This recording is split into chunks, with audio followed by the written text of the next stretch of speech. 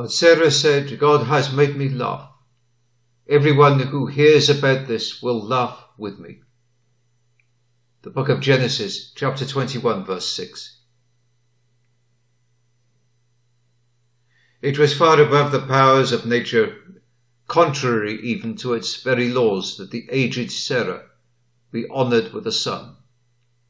And even so, it is beyond all ordinary rules that I, a poor, helpless, underdone sinner, should find grace to bear about in my soul the indwelling Spirit of the Lord Jesus.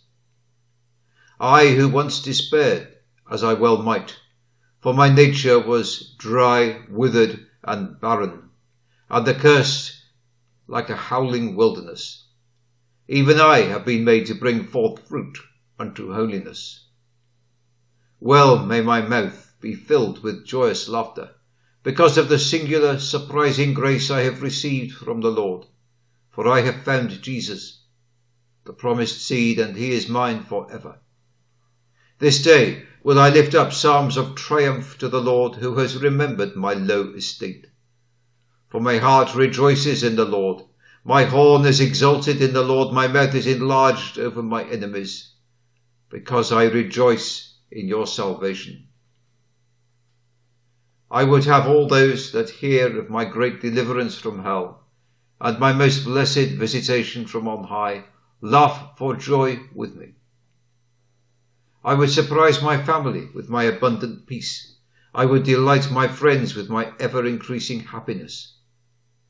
I would edify the church with my grateful confessions and even impress the world with the cheerfulness of my daily conversation. Bunyan tells us that Mercy laughed in her sleep, and no wonder when she dreamt of Jesus. My joy shall not stop short of hers, while my beloved is the theme of my daily thoughts. The Lord Jesus is a deep sea of joy. My soul shall dive therein, shall be swallowed up in the delights of his society. Sarah looked upon her Isaac and laughed with an excess of rapture and all her friends laughed with her. And you, my soul, look on your Jesus, and bid heaven and earth unite in your joy unspeakable. Amen.